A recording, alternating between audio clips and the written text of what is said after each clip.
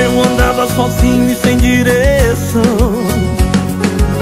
vivendo uma vida só de ilusão. Esta já é a segunda edição do Aviva com Fresa, que acontecerá no pátio da Igreja Evangélica Assembleia de Deus, Ministério de Madureira. O objetivo, além da evangelização, é também arrecadar fundos para o projeto de construção da sede da igreja na capital Cuiabá, o Projeto Viva. A organização está a todo vapor e terá diversas programações, desde apresentações de bandas e cantores municipais e regionais e a atração principal do evento. Então, a gente está todo vapor aí, correndo atrás na divulgação, andamos por várias é, é, igrejas de, de, cidades vizinhas, né, fazendo convite no decorrer da semana.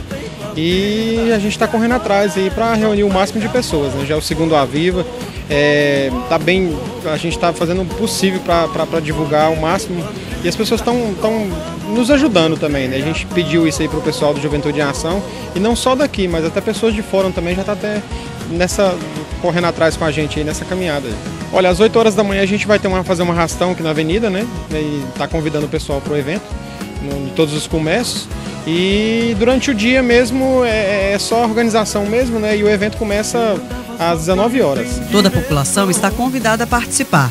A igreja fica localizada na Avenida 29 de Julho, bem no centro de Confresa. A gente já fez alguns convites, algumas igrejas aqui da cidade, entendeu? Vai participar com a gente, né? É, algumas congregações e vai ter uma, uma, programação bacana, né? Aí eles vão entrar, vão começar a cantar logo após essa programação. O show principal de, da dupla Cleveland e Vanderlei, uma dupla muito boa, um sertanejo universitário gospel, que está vindo ali de Goiânia para louvar o nome do Senhor. O objetivo principal, claro, que é ganhar almas para o Senhor, né? E está realizando eventos que, assim, a igreja é muito carente, né? Estava muito carente de eventos.